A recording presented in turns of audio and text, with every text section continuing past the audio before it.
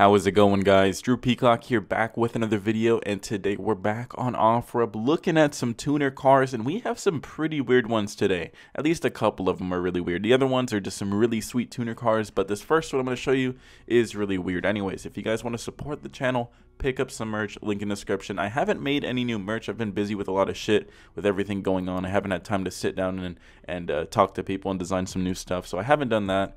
But if you want to pick up some of the old merch, if you've got money burning in a hole in your pocket, then go ahead. It seems like the JDM car has finally touched down in the States, so it's just a matter of time before it goes through customs, and then it gets registered, and then I can go and have it shipped here. So I can't wait. I'm really excited. Mustang is being uh, taken in to be looked at tomorrow, and then uh, I'll be getting it back probably next week sometime. So anyway, just a small update on the cars. Anyways, let's go ahead and dive right in with this first car, which is probably the weirdest tuner car I've ever seen, if you want to call it that. Pro Charger Supercharger Slingshot SL. So he's technically right. He's not wrong by saying Pro Charger Supercharger. A Pro Charger is a supercharger. So just a little fun fact for you guys. Anyways, a slingshot with a Pro Charger. Now I know I believe their engines are like Cobalt engines or some dumb shit. I think I watched the Doug DeMuro review on it, and he said they were like Cobalt engines, so they're not really the the peppiest of engines. But I mean, you toss a Pro Charger on any engine, and it's gonna wake it up for sure. And this little thing that weighs nothing I mean, you got to imagine boosting a Miata or boosting an S2K at that point. It's just a whole lot of fun. So, anyways, like I said, let's go look at the exterior. The exterior looks, uh, well, it looks like a slingshot. Slingshot owners like doing weird shit. Neon underglow, I mean, on a slingshot, it weirdly goes with it. I think he has a wing on it too. It weirdly goes with it. Even though it's the dumbest looking shit, it weirdly goes with it because the whole car is based on dumb looking shit. The front end of it, I mean, they look cool. They're just you know, different, I guess. I'd rather just ride a motorcycle, but I'm sure these are a lot of fun to drive too. It is kind of stupid how you have to wear a helmet with one of these. You can actually get a ticket for that. The cockpit looks uh, very uh, futuristic, kind of, I guess. I don't know. It looks weird. It looks like it's trying to be futuristic. Like it, it fits the styling. I guess you wouldn't want to just see basic ass interior right here, but it looks kind of weird at the same time. I like it, but then I don't. I feel like this would just feel really cheap, but who knows? I've never touched one, so. Underneath the hood, we do see that Pro Charger sticking right out in front of the motor. I don't know if he motor swapped it. I guess we'll see in the description. I doubt it. Uh, that does just look like a normal just Chevy engine to me, but who knows? I, I could be wrong here. It's not like I'm, I'm looking up Cobalt engines for a swap or anything. Don't get that confused. Based on the exterior, I mean, I wouldn't really want to call this a sleeper just because he made it look rice. I mean, it's a slingshot. These things aren't really fast to begin with, but I'm sure it's a lot of fun to drive with that Pro Charger, and I'm sure it sounds pretty wicked. The only thing I would have probably done differently is maybe Honda swap it like a K series and then boost it. I think that'd be a lot more fun, but if it all just depends, I guess what you're trying to do. Anyways, 2016 and a half. I don't know what that means. Pro Charger, Supercharger Series inquiries only. Fully customized from California. Has backup camera, 20 inch rims on the front and 22 inch rim on the back. Airbag sound system. I mean, it's pretty cool. I'm not gonna lie, and but I don't think it's worth that much though. I don't. It was seventy five thousand dollars. How much is a new one? I thought they were like twenty grand. What the fuck? The SL is only 25k. Why is why is this guy charging 75k? Buddy, Come on, your neon underglow and your Pro Charger didn't add 50k. If that's the case, then I have a $200,000 Mustang outside. Shit, I should sell and go buy a Lamborghini really quick. Wow. Anyways, for $75,000, you can have a uh, boosted Cobalt. Next car, 2005 Mitsubishi Lancer Evo VIIMR. So it's an Evo 8, pretty cool. Don't see these every day. And this one looks like it's in really good condition. We will look in the description in a second. I don't think he has too many pictures, sadly, but we can take a look at this beautiful photography. It's just vibrant, it's juicy, the car looks wet. I love it. It's making me a little bit moist if I do say so myself. The exterior looks really nice. It looks pretty stock, but he did do some subtle things to put his own taste on it. Wheel setup looks nice. I like his tires. He doesn't have rubber band tires, which is nice. I don't remember the last time I saw an Evo without a wing on it. And I do like how it looks without a wing, I'm not gonna lie. The front end, I've always been kind of a WRX guy, but I mean, Evos are sick. They're cool cars. I wish Mitsubishi still made them, that way they'd be a relevant car company, but sadly they don't. The rear end looks nice. He put a little decal on it, but I mean, if that's the only thing he's got on it, you can't really complain. If he had it all over the car, it'd be a little bit too much, but just one little thing on the rear, I'm sure it probably says Evo in like Japanese or whatever, so I'm just gonna go ahead and take a guess at that. Vortex generators, that looks like it for his exterior mods, and of course some mud flaps. It's not a rally car without mud flaps, we all know that. Little fart can exhaust that probably shoots flames. I mean, is it a JDM tuner if it doesn't shoot 12 foot flames? If you can't cook marshmallows off of your tuner car, is it even a tuner? Anyways, I love the photography. This car does look really clean. I wish he showed underneath the hood and the interior a little bit more. I mean, these are just kind of like Instagram photos it looks like, but it is a very clean looking car on the exterior. So if that followed it into the interior and underneath the hood, then I'm sure it's a pretty solid car. He's charging $23,000 and he has uh, not that long of a description. I thought this one had a huge one. Custom candy red paint job, nice. Stock block, brand new FP red turbo. Kelford 272 cams with, with GSC Beehive springs, ETS intercooler and piping, map performance O2 housing, blah blah blah. If you put Beehive springs, chances are you're running a lot of boost. I had to toss them on my Mustang just to up the boost. So I'm going to bet he's pushing some serious power. I mean, he does say he's on semi-slicks too. So that's cool. I mean, if you need semi-slicks on an all-wheel drive car, I mean, you got to be pushing some sort of power. Anyway, he's asking for 23000 or a trade for a Tacoma TRD Sport or a nice Honda Acura with cash on top. Look, if you got a nice Honda or Acura, go do it. This is probably a steal. Anyways, pretty clean tuner car, very subtle, but I like it. A candy red paint job on an Evo. I mean, who would have thought it looked so good? Candy red looks good on everything, though. Anyways, here we go. Nitrous 2010 Cadillac CTSV 9 second street car. 9 second street car. That's mean. And this guy's only charging 40k. You could buy two of these for the same price as one slingshot, so cool. CTSV is just a very gangster, just grandma car. A lot of people don't know what it is, but once they get gapped by it, they will never forget. They see the V, they know they're catching the L. Styling of a CTS-V is very subtle. It's not very in your face like a Chevy's Corvette or the Camaro. CTS-V is meant for the higher class, the wealthy, the people that have good taste, modest taste, not trying to show off, not trying to be in your face, but it is still a very aggressive looking car. The angles, the hood, everything about the front end is pretty mean. I'm not going to sit here and say it looks like a Camaro ZL1 or a brand new GT500, but it's a pretty aggressive looking car. And especially when you hear it, yeah, it's a mean MF.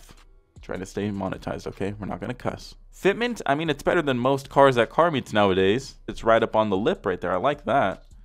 Nine second car on nitrous. That's just mean. I've never been a huge nitrous guy. I've always like been like, damn, I wonder, I wonder if it'd be worth it to toss nitrous on my car. I wonder if it'd be worth it. But I don't know. I've just heard too many like horror stories about it. And I'm sure if you have the right tuner and you don't push that much, I'm sure it's okay. But I don't know. I just I feel like that's like cheating, like the last resort for like horsepower. Anyways, it looks like he has Forgestar F14 wheels. Those are the ones I wanted, but I went with the ESR forged wheels. Here's his nitrous setup. No, officer, it's stock. I'm just cooling down the soda for the party I'm about to go to. This is just a, a little refrigerator unit. I, I'm stock though. Looks like maybe a methanol kit too, maybe? I don't know. We'll have to check in the description. Or an ice box, I guess, technically. We'll have to see. Underneath the hood, yeah, I mean, that looks pretty much stock. Working on this thing is probably not that fun. My buddy, he has a CTSV and he gaps the shit out of me, like 850 wheel horsepower. Gaps the shit out of me, like I'm not even moving. These things move. I think his is an auto. I'm pretty sure it's an auto. So you just you just stomp the pedal and you just let it go. Just let it go.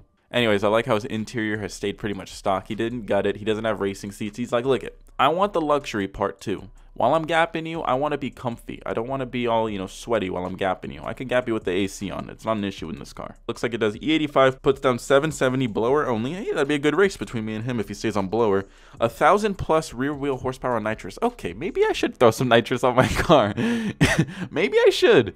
Uh, it might not be a bad idea at that point. Wow, thousand plus horsepower on nitrous. Because I'm doing around 770 rear wheel horsepower on my car, and if he's gaining that much on spray, I mean that's that's not that bad. I mean, I guess he'll say what stage kit he has, if it's a two stage or something. But anyway, I'm not gonna read this whole thing. Looks like he has 2.5 inch Griptec pulley, ZL1 lid and reinforced brick, ported LS3 heads, ported blower Kong performance, custom grind crankshaft suite. Oh, he got the NGK plugs, guys. Dude, that's where he's getting all his power from the NGK plugs. Big Show Purge. So anyways, if you guys want to sit here and read all this, go ahead. I mean, it sounds like a pretty killer car. And for 40K, I mean, you're getting a 1,000 horsepower on a CTSV street car for 40K. That's, that's wild. That is pretty sick. Who knows how long it'll last, but I mean, that's pretty sick. Next car, I mean, what is a tuner cars video without the tuner legend himself, the 1000 stock wheel horsepower Toyota Supra? I mean, you buy these stock, they come with like a 1000 wheel horsepower. It's already a tuner from factory. What, what, you don't need to do anything. Anyways, this guy thought it'd be funny to waste more money on it and uh, build the motor to make it so it can handle that 1000 wheel horsepower. But anyways, let's go ahead and take a look. He, it looks like, why is no one including too many photos? This is a pretty depressing episode photo-wise. Pretty sick cars, but Photo wise, not the best. A black Toyota Supra Mark IV, the legend himself. I'm not a huge fan of black on cars. I mean, especially an older car like this because you the paint really shows just how old it is. And this one, we're, we're getting a hint of that right here. The paint, the paint's done. Okay, it needs either a paint correction or it needs to be wrapped or something. I mean, that is Swirl City right there. But I mean, when it's a race car like this, it's not a show car. No one really cares. And talk about goals for wheel setup. I mean, that's a more muscly wheel setup than I have on my muscle car. Look at that. Big old bead lock with a slick in the rear, little skinny up front. I'm assuming that's a skinny. It might not be. Anyways, this is a pretty solid looking Supra. I mean, I feel like when you do build a drag Supra, they kind of all look like this, big ass slick in the rear, a lot of meat. It's a good looking car. There's no there's no doubting that. Why did you do the same picture twice? It's a good looking car we know how Supras look. The exterior, I mean, Supras are, are, they're they're great. They're great looking. I wouldn't say they look like a modern car, but they're they're a timeless car. They're gonna be remembered until Instagram is gone. Once Instagram is gone, everyone's gonna forget about them because there won't be any stupid memes about them. But until then, they will stick around. Not too much to look at. It's a black Supra. It's got slicks. It's a fast car. Let's read his description. Fully built motor, 1000 horsepower built stage 4, FTI TH400 49 inch upgraded axles, drag pack, AEM. Oh god, you could use a comma here or there, buddy. AEM Infinity ECU custom harness, 7685 Gen 2 turbo. Will come with cage not installed yet and parachute mount and many more things. I mean, you know your shit's fast if you're mounting fucking parachutes to your car. You know what else has parachutes? Planes. People that jump out of planes. Those crazy ass dragster cars, those things have, have parachutes. So this thing you know is fucking fast. Anyways, 50k, I mean, that doesn't sound like a bad deal. Next car, 2003 Acura RSX Big Power. What is a tuner episode without a little bit of a sleeper? And I mean, look at that. Looks like a stock ass Acura RSX. Nobody would want this. I wouldn't want to touch this with a stick. But when you go and you look underneath the hood, now I'm about to make love to it. Now I'm about to make real good love to it. Anyways, we have a boosted RSX little sleeper build. Looks like his motor has what it needs to get the power through it. And it looks like it's well done. I don't see a bunch of shitty ass uh, lines running everywhere. I don't see zip ties that are uncut. I don't see a mess. It looks like everything is neatly done. It looks like it was professionally done. So if he did it, if he did do that himself, props to him. We got an RSX Type S stock exterior. Again, like Usually when you go and you dump a lot of money underneath the hood, I mean, you get new wheels, you lower it, you might put a wing on it, a wrap, something. But stock, I mean, that's all. That's what the sleeper build is all about. And oh my god, oh my god, my brain had to just like fathom what I'm looking at here. Look how crazy this intercooler setup is. This is the, this has to be one of the coolest intercooler setups I've ever seen. That is sick. I don't know why I like it so much. Where it's just like you got the fat ass Mishimoto radiator, and then you have the fat ass intercooler right in front of it. It looks so sick. Wow. A lot of people ask me why the ProCharger intercoolers look weird, and I think it's because they try to ramp the air to flow better, so that way it's not just a box.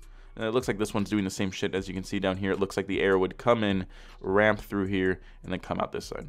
Instead of it just hitting a 90 degree angle and then bouncing downwards 90 degree angle and then bouncing outwards. It kind of flows better. I don't know. It's just an idea. I'm not an engineer. That has to be one of the coolest intercooler setups so ever.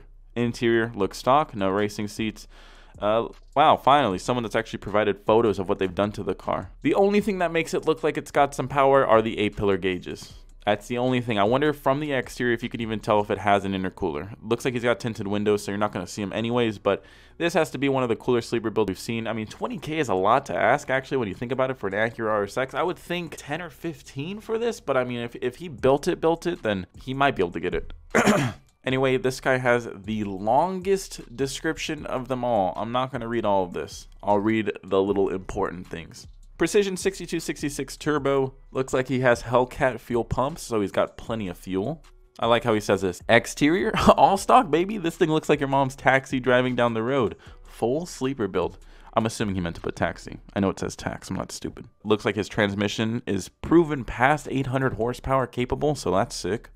Not going to have problems shifting there. And a fully built motor if you want to read all this. Like I said, you can go ahead and pause it. If you're really interested, if you're trying to build your little RSX for this, that's kind of why I do this. Give you guys little ideas of what you guys can do to make your cars faster. And see, your car doesn't have to look that crazy to be fast. It could look stock and you can gap the shit out of anybody. Anyway, guys, if you enjoyed this video, please leave a thumbs up. If you want to send me any of these posts, send them to my Gmail, drewpeacock.clips at gmail.com. I will keep you guys updated on my Twitter about the new car. I don't really want to do a reveal for it until it comes in just because that seems kind of anticlimactic to reveal what it is and I haven't even seen it yet. So, anyways, go ahead, follow my Twitter, follow my Instagram, and uh, stay posted on all that. Until next video, peace.